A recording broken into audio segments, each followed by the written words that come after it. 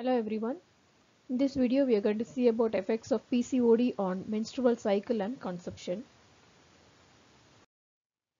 I am S. Kesia. I am working as a tutor in Triple M College of Nursing. The objectives of video are you're going to learn about definition, causes, signs and symptoms, differences, diagnosis and management of PCOS, effects of PCOD on menstrual cycle and effects of PCOD on conception. Definition PCOD or PCOS it is a condition that affects the woman's ovaries.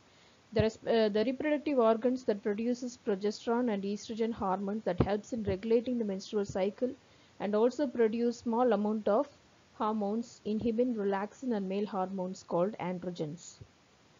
So the PCOD or the PCOS this condition affects the uh, woman's ovaries the production of the uh, ovum as well as it also affects the regulation of the hormone the hormones namely progesterone and estrogen and the other small hormones are inhibin relaxin male hormones like androgens. So these uh, hormones levels also affected in case of pcod and pcos incidence.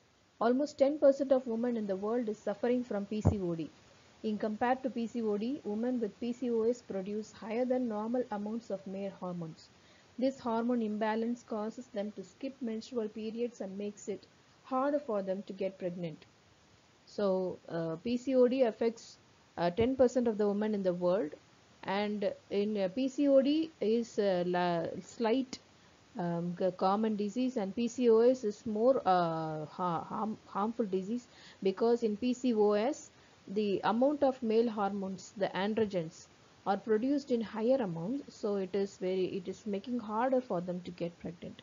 So in case of india from the very limited data pcos prevalence in india ranges from 3.7% to 22.5%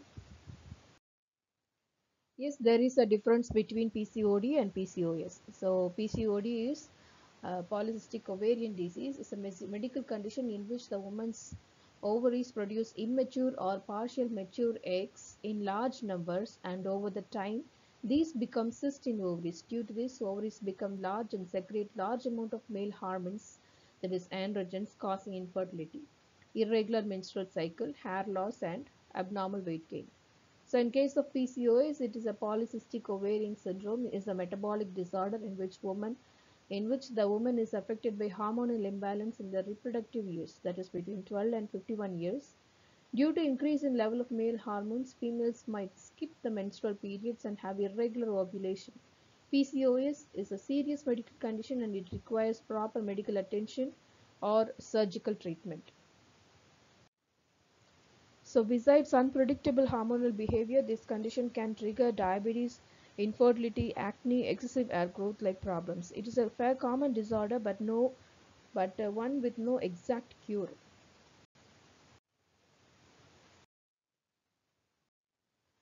So the other differences uh, between PCOD and PCOS are in case of uh, incidence, the PCOD is a common disorder and it occurs in 10% of world women population are affected by it and uh, PCOS is a serious medical condition around 0.2 to 2.5 percentage of women world women population are affected by it so that's about the incident next if we take the ovulation PCOD does not affect the fertility women. In this condition, women can still ovulate and become pregnant with little help following medication can completely uh, can complete pregnancy.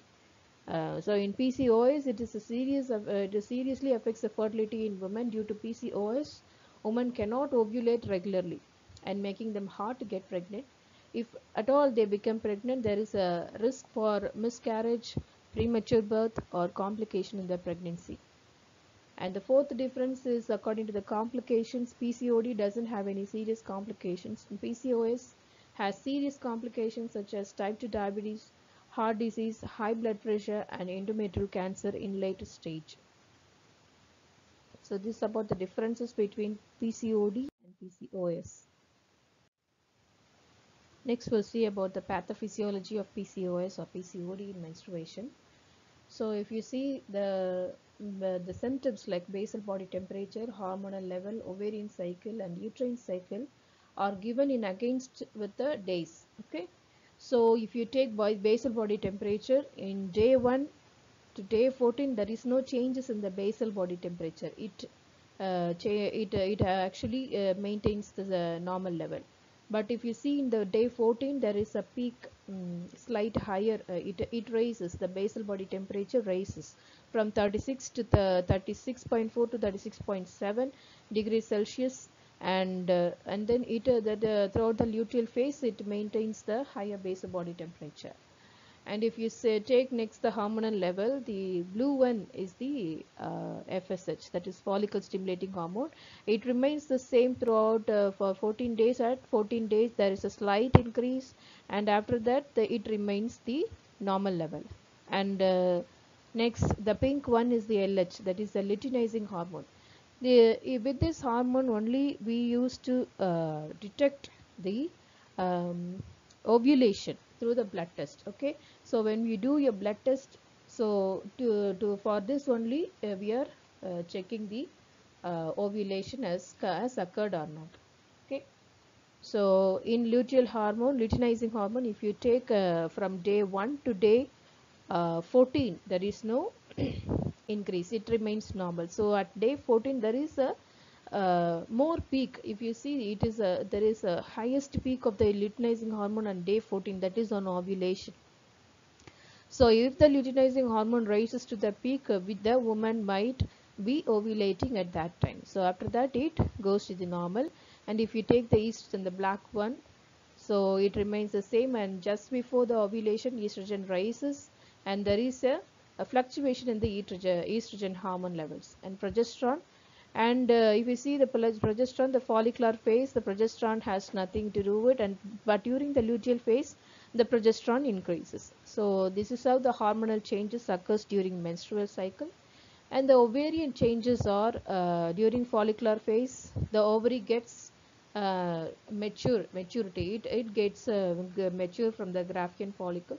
And from the Graafian follicle it is released as a ovum uh, on the day 14 and after that it goes into the fallopian tube. This Graafian follicle will go as a corpus luteum so that's what happens to the ovary. And uh, if you say the if you take the uterus the inner lining of the uterus that is the endometrium. So these are the changes. So day one is the uh, menstruation. So that is the first day of period. So to during that time the endometrial shedding will occur till day 7 so from day 7 to day 14 uh, it is uh, called the proliferative phase so during which the hormonal changes will occur. Again the uterus the endometrium of the uterus get ready to receive the fertilized hormone for pregnancy. So during proliferative stage and secretory stage the inner lining of the endometrium will get thickened. That is by the uh, more amount of blood collection. Okay that's what will happen during the 14 to 28 days. That is the secretory stage.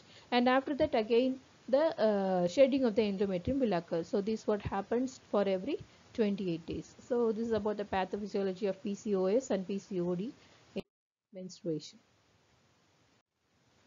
So I said about the pathophysiology of the PCOD in normal menstruation. Okay so if you take PCOD and um, PCOS during that time the menstruation uh, normal menstruation is affected. The hormonal levels are affected. It is not raised at the particular level. And the ovulation is no, will not occur and the endometrial lining also will be affected. So that's what will happen in uh, in a normal menstruation in case of PCOD and and PCOS okay? So next is the uh, pathophysiology. What happens when uh, what happens in conception in case of uh, women with PCOS and PCOD so normally the uh, see the normal ovary the conception will be like uh, so if uh, for a conception to occur we need a ovum right? So how the ovum is produced. So from the uh, primordial follicle it is uh, changed as primary follicle secondary follicle mature, mature follicle and then after the mature follicle the ovum is released into the fimbria and then the uh, corpus luteum will uh, the the outer lining will ch change as the corpus luteum and corpus albicans so that is how the over the, the follicle is destroyed inside the ovary this is the cycle which occurs okay so in case of polycystic ovary the normal see if you say the primary follicle there is a, uh, primordial follicle, primary follicle, and secondary follicle. But uh, during from the secondary follicle to the mature follicle, there is the uh, development is stopped. Uh, that may be because of many reasons we don't know okay? So maybe due to the hormonal changes or weight gain or uh, any cyst development inside the ovary.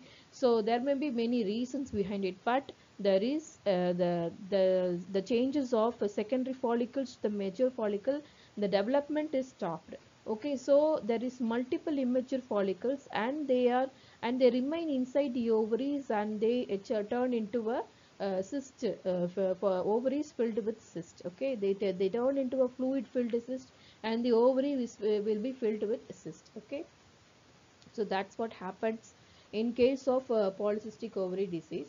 So with the without the ovum uh, released into the fimbriae the conception will not occur. So this is the reason behind uh, the the woman not getting conception in case of uh, not getting pregnant in case of PCOS and PCOD.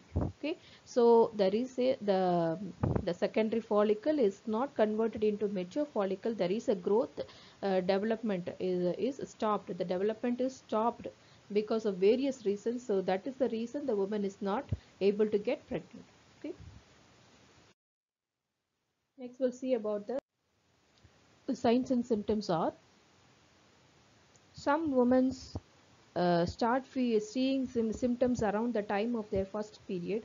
Some women only discover when they have gained a lot of weight or trouble getting pregnant. The most common signs and symptoms of PCOD problem or PCOS problem in females are irregular menstruation that is oligomenorrhea, skipped or absence of menstruation amenorrhea, heavy menstrual bleeding menorrhagia, has excessive hair growth that is called uh, that may be on face body including on back belly and chest. So that is called excessive hair growth that is called hirsutism okay? And uh, next is acne. Acne may, may come upon the face that is face chest and upper back and weight gain hair loss. Hair loss on the scalp gets thinner and fall out and skin darkening the darkening of the skin may be on the neck in the groin and under the breast Next, we'll see about the causes of the PCOS. Exact how women get affected by PCOS is not known. That is, the exact causes of PCOS is not known. However, there are some significant factors. The first is excessive insulin production. The excess insulin levels in body might increase androgen production. It is called a male hormone which is less, very less in female that causes difficulty with ovulation. So if there is more insulin production, the male hormone is produced more along with that. So this insulin production will trigger this uh, male hormone also to produce more. So that causes um, difficulty in ovulation uh, in women. Okay. Next is androgen production, excess androgen production. These ovaries produce abnormally excess androgen hormones that can lead to acne and hirsutism, that is uh, hair growth on the face and body. So the androgen which is produced by in large amounts in ovaries in case of women. So they can have this uh, excessive hair growth on uh, face and body. And low grade inflammation. As per the recent studies, the female with PCOS are having low grade inflammation that causes increased levels of androgen production which can lead to blood vessels or heart problems. So here also in case of inflammation we see that there is an increased level of androgen production. So again that causes infertility in females. So that can also lead to blood vessels problems and uh, heart problems. Okay, next is hereditary. The woman with PCOS uh, shows certain genetic correlations. Their sisters or their mother. So anybody in the family uh, uh might be affected with PCOS. Now we'll see about the complications. So every woman will think what happened to their body when they have PCOD or PCOS. Having higher than normal androgen levels can affect your health. These are the complications of PCOD and PCOD, PCOS problem that require medical attention. So there can be abnormal uterine bleeding, infertility or hypertension, infertility, and uh, type 2 diabetes, preterm labor and preterm birth, metabolic syndrome, risk for high blood sugar, high blood pressure, heart disease, diabetes and stroke, and NASH that is called a non-alcoholic steatohepatitis. So in case of uh, PCOD or PCOS, the woman may have this uh, hepatitis problem that may be because of higher uh, androgen production. So next is uh, complication is depression. Many women end up experiencing depression and anxiety due to unwanted hair growth and other symptoms. And sleep apnea, more common in women who are overweight, causes repeated pauses in breathing during the night which interrupt sleep. So if you don't have sleep in the night, you will, you will end up in stress and anxiety. Though then again it uh, contributes to the infertility and next is uh, endometrial cancer due to the thickened uterine lining so we see that in case of menstrual cycle every 20 every 28 days uh, during the secretory phase the endometrial lining get thickens okay? So it has to be shed on the day one okay? On the uh, during every month. So if it is not shed and the endometrial uh, lining remains it may turn as an endometrial cancer. Next is miscarriage spontaneous loss of pregnancy. Female next uh, those who are diagnosed with the PCOD problem or PCOS should monitor their health on regular basis to avoid any complications in future. If left untreated, PCOD problem in future can lead to type 2 diabetes, so that is also one kind of complication and obesity and other mental issues due to hormonal imbalance whereas PCOS in future can have serious complications such as risk of hypertension, hyperglycemia, endometrial cancer and pregnancy complications like premature birth, preeclampsia and miscarriage. So these are some of the complications of PCOD and PCOS. Now see how to diagnose this condition. PCOD or PCOS has physical findings that affects body systems and can be diagnosed through blood test and imaging. Depending on symptoms such as irregular periods, unwanted male pattern hair growth on a woman's chest, face and back, acne, or thinning of the scalp, hair and uh, gynecologist will ask about the medical history, eating and drinking habits, taking any prescription or over-the-counter medications including vitamins and supplements. So uh, to diagnose PCOD or PCOS, a gynecologist may recommend pelvic examination.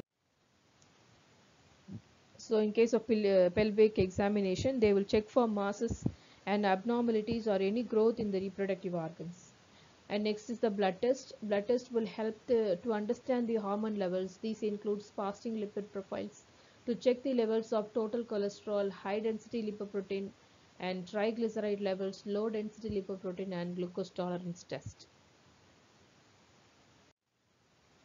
So the next diagnostic procedure is the imaging test ultrasound imaging test to check the size of the ovaries the lining of the uterus and the cyst in the ovaries. Apart from the above, the gynecologist might recommend additional tests to check for the complications. So these may include periodical monitoring of the blood pressure, glucose tolerance, cholesterol and triglyceride levels, screening for anxiety and depression and screening for obstructive sleep apnea. So this all the, the gynecologist will uh, check in addition with the above diagnostic procedures. Next we'll see about the treatment for menstruation.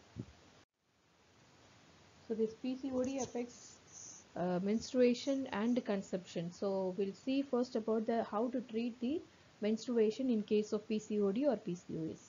There is no cure for PCOS but there are several ways to treat and manage it. The first is diet and exercise. If a girl is overweight or obese, a doctor will recommend lifestyle changes. Weight loss can be very effective in easing many of the health conditions associated with PCOS such as high blood pressure and diabetes.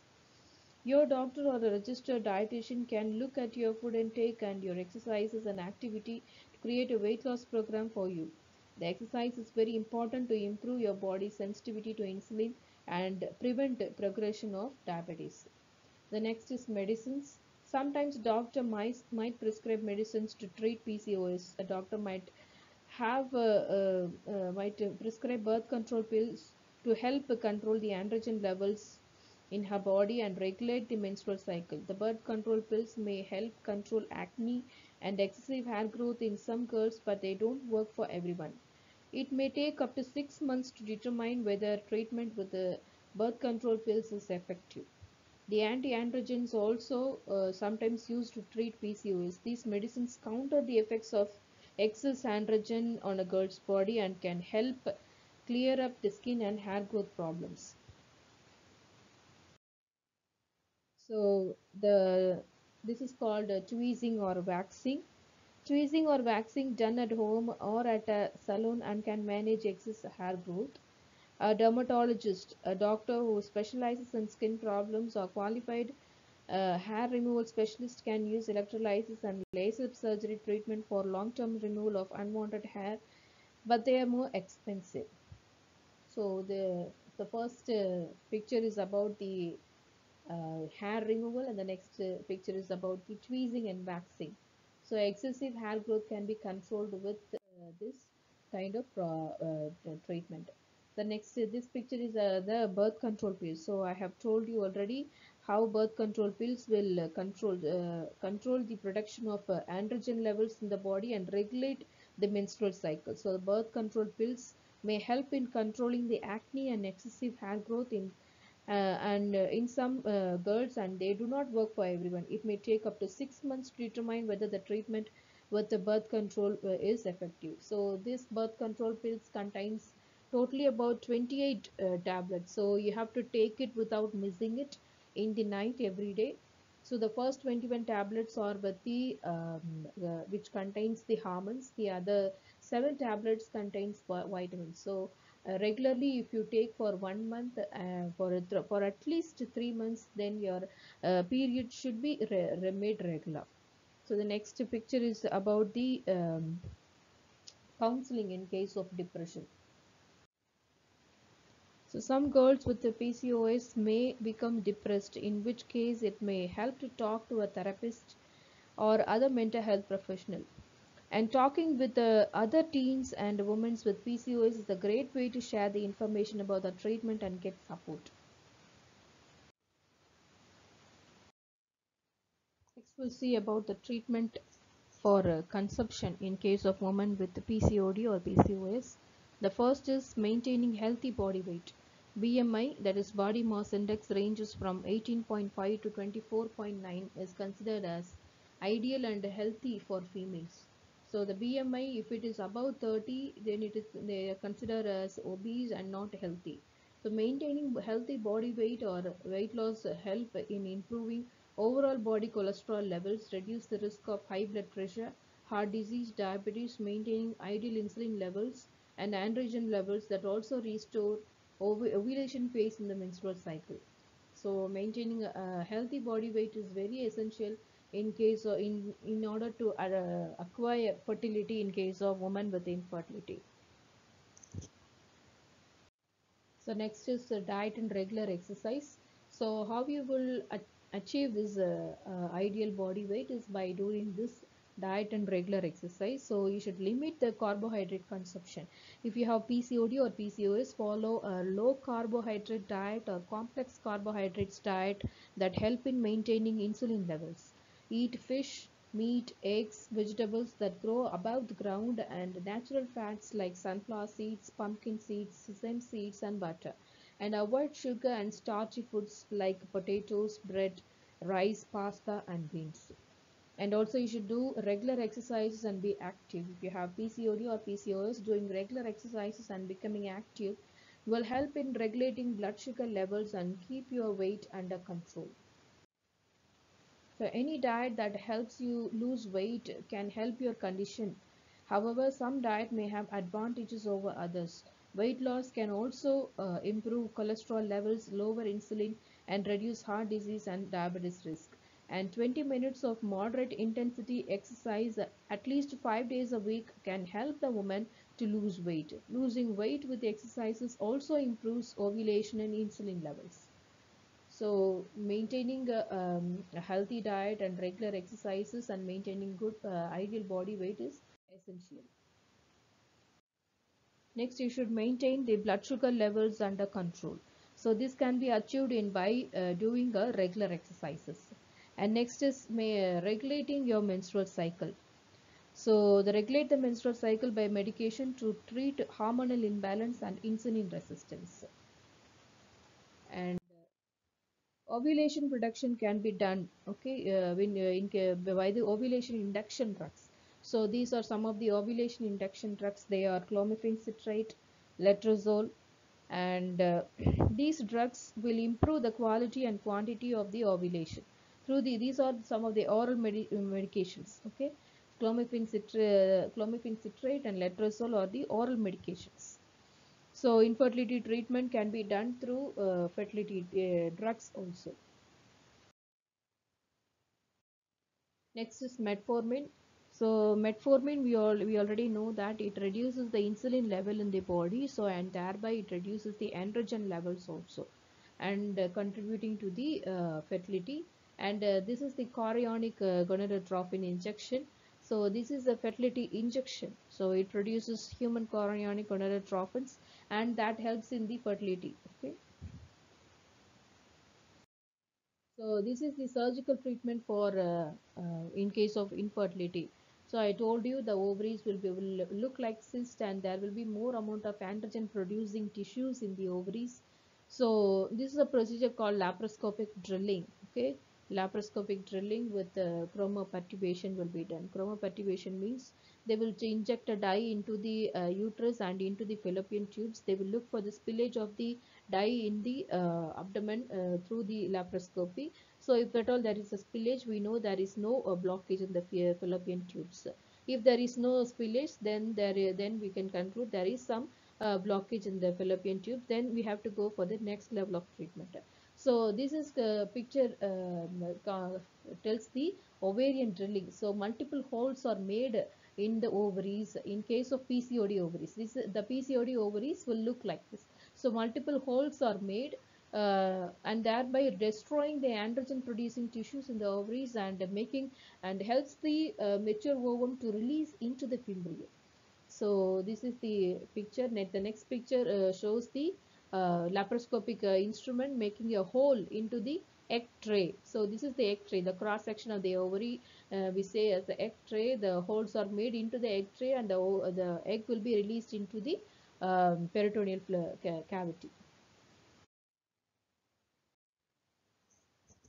So these are some of the alternative remedies in case of uh, PCOD for consumption. okay. Uh, first is diet and exercise. A healthy diet is important to overall health for anyone but a low calorie low carb diet that provides all essential nutrition is said to uh, significantly improve insulin sensitivity and fertility in people with PCOS aiming for at least 30 minutes of moderate exercise three times per week is also beneficial if your BM is high, symptoms of PCOS can be improved by losing excess, excess weight. It also helpful uh, to speak with a dietitian and or a nutrition who can provide input on healthy eating and offer motivation. So next picture is about the acupuncture. The research from 2010 suggests that acupuncture might be safe and effective in treating PCOS by it can increase uh, blood flow to the ovaries, reducing ovarian volume and ovarian cyst, managing hyperglycemia, reducing cortisol levels, assisting in weight loss. Keeping in mind, while there's little evidence of harm, it's unclear if there are any possible benefits either. Acupuncture for PCOS hasn't been well studied. Most research is needed to determine if it has any benefit for treating PCOS. Next is the essential oils. Essential oils are the plant extracts that produce variety of fragrances that may impact the way you feel. Many people find inhaling essential oils relaxing or invigorating. Other uses, other, others use essential oils to ease symptoms of various health conditions. So research into the effectiveness of essential oils is limited. A study in rats that was published in 2017 evaluated the effects of essential oils on PCOS. The researchers concluded that spearmint inhibits the testosterone and restores follicular development in ovarian tissue. They also suggest that it has potential in treating PCOS. Whether that translates to human remains to be unseen. There is not enough research to make firm conclusions. Next is aromatherapy. Aromatherapy is generally considered safe, though uh, side effects can occur. Use it if it makes you feel good. but make sure you're using essential oils correctly. Some can interfere with medication, so discuss all the complementary remedies with your doctor. Next is herbs and supplementations. Even natural herbs and supplementations can interact with medications. If you are taking medicine for PCOS related infertility, speak with your doctor before taking the supplements. In 2017, a review found some low quality evidence that women with PCOS may benefit from inositol and omega 3 fish oil supplements.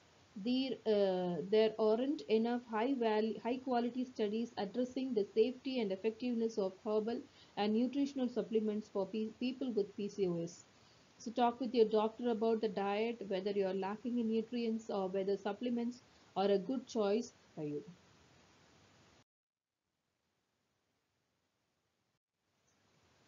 The next is about the mental health. Ex- experiencing difficulty conceiving can be frustrating, and uh, going through fertility treatments can be emotional, roller coaster. These are physical problems, but they can place added stress on relationships and on mental health. Depression and anxiety are fairly common among people with PCOS, though it's unclear how these conditions are related. If you have depression or anxiety, or uh, having trouble coping, rest assured that you are not alone. Help is available. Your doctor can evaluate your symptoms and refer you to the appropriate specialist if needed. And uh, if at all uh, the woman is uh, um, is suffering from endometriosis, so yeah, and they are not responding to the treatment, uh, then they might should be referred to the doctor as well. Endometriosis is a condition in which the type of tissue the that lines the uterus grows elsewhere in the pelvis.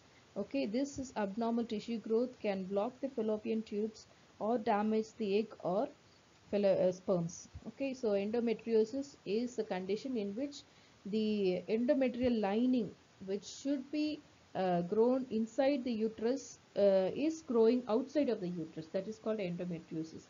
So that uh, if at all it grows on the fimbrial end, imagine it it blocks the fallopian tubes right? So if it uh, grows into the fallopian tubes again it blocks it. So this is a serious condition. According to american college of obstetrician and gynecologists about 40% of women with uh, fertility have uh, uh, infertility have uh, endometriosis. Symptoms of endometriosis can include heavy periods pelvic pain around the menstruation or during sexual intercourse and pain during bowel movements or urination not everyone with endometriosis has these symptoms. A study in 2019 addressed the overlap of PCOS and endometriosis. The research included women with PCOS who hadn't responded to clomiphene citrate. After a procedure called laparoscopic ovarian drilling, 7.7% were found to have incidental endometriosis.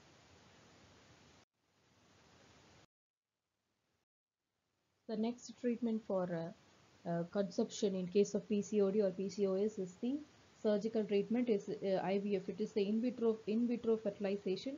So sometimes the lifestyle adjustment and medicines and surgery don't work. So if that happens, the IVF may be the may be an option. So the patient will be start uh, with ovarian uh, stimulation hormone therapy.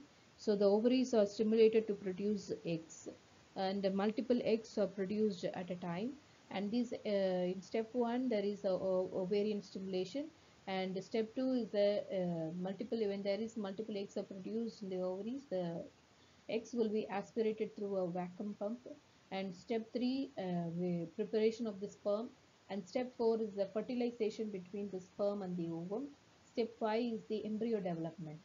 So this embryo will be made to after the fertilization the embryos will be made to develop. Some will be transferred to the uh, frozen for later use. Some will be transferred to the uterus to implant and develop. So IVF may increase the likelihood of a multiple birth. The next is the, uh, it is similar like uh, IVF. This is uh, GIFT is the gamete intrafallopian transfer and ZIFT is the zygote intrafallopian transfer.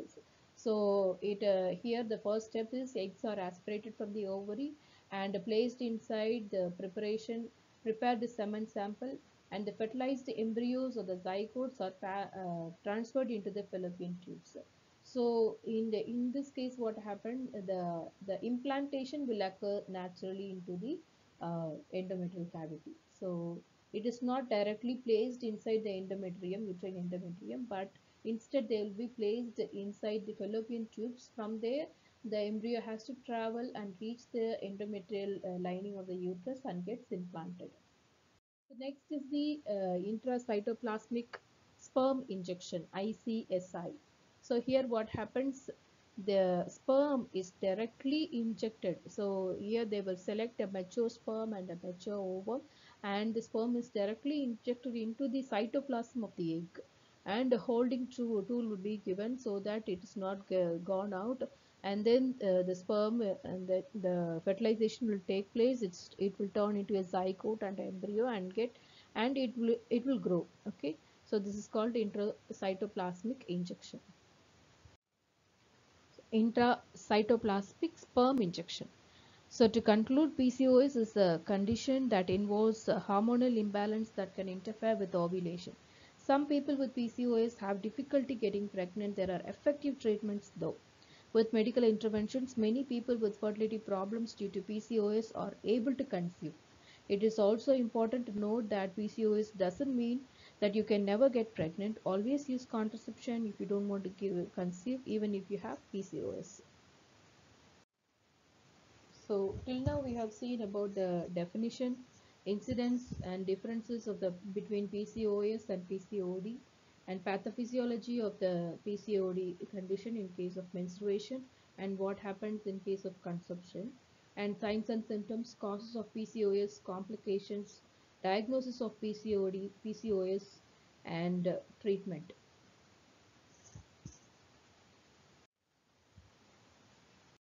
And so I hope you all have gained some knowledge about PCOD or PCOS. Thank you for your kind listening. Thank you.